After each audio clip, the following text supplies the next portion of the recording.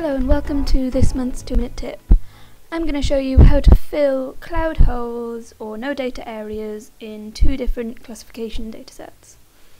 So here I have two classified files of the same area on different dates. So we have um, a date in July there and a date in June. Different areas are cloudy in each image, so I'm hoping to use one to fill the cloud holes in the least cloudy um, file.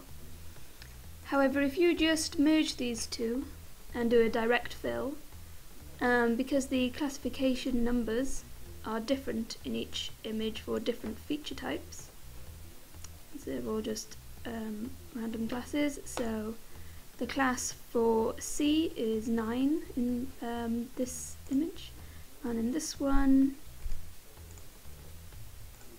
class number is 21.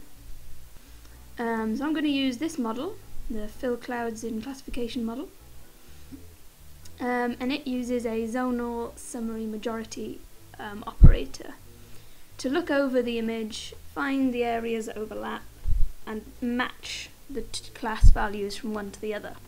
So say over all of these ni nine value areas, so the sort of sea colour, um, it'll look all over the 9 area and match and get the majority pixel value for the other image as well.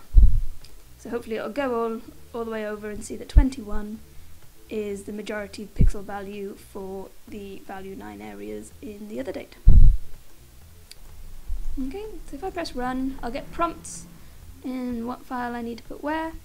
So the classification files um, to be filled is the June date, because it's slightly less cloudy and then I've got the July date um, to fill. I'm going to ignore value of 0 because my cloud areas have been masked to that value and press OK.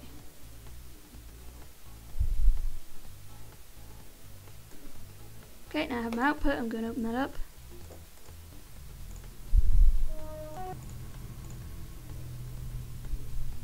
Okay, so I've opened that up frame and now you can see there's significantly less cloudy areas in this one than there is in the other two. The areas that are still black are unfortunately cloudy in both images so I'd need to use yet another date to fill that information. Nice and close. You can see that those holes there are filled pretty much seamlessly. Thank you for watching this month's 2 minute tip.